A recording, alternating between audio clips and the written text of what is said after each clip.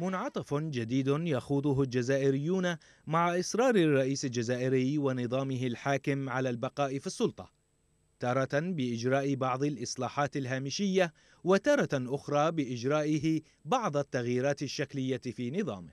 وقد ذهب نظام بوتفليقة أبعد في استغلال انتفاضة الجزائريين السلمية بقراره تشكيل حكومة جديدة برئاسة نور الدين بدوي كلفت بتصريف الأعمال.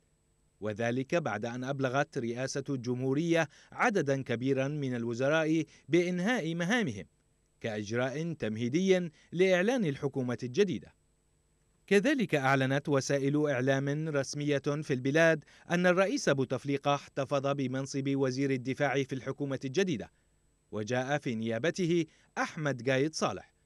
الحكومة الجديدة ضمت 27 وزيرا حيث تم الإبقاء على ستة أعضاء من الطاقم الحكومي السابق الذي كان يقوده أحمد أو يحيى. وفي هذه الحكومة استمرت بعض الوجوه المحسوبة على الرئيس عبد العزيز بوتفليقة وعينت وجوه أخرى من نظامه. واعتبرت هذه الخطوة من قبل الجزائريين استخفافا بمطالب الحراك الشعبي الذي يدعو إلى رحيل كل النظام. وجاء الإعلان عن الحكومة الجديدة. بعد يوم واحد من بيان لقيادة الجيش جدد الدعوة إلى رحيل بوتفليقة باعتباره المخرج الوحيد للأزمة في الإطار الدستوري. كما أكد دعمه لمطالب الشارع بإرجاع السيادة له في تسيير المرحلة الانتقالية.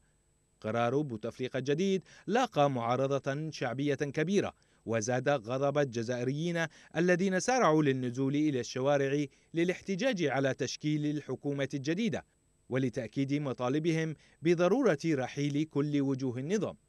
حكومة تصريف الأعمال الجديدة في الجزائر. تزامن الإعلان عنها مع تسريبات تناقلتها بعض وسائل الإعلام تناولت إمكانية تقديم الرئيس الجزائري عبد العزيز بوتفليقة استقالته هذا الأسبوع.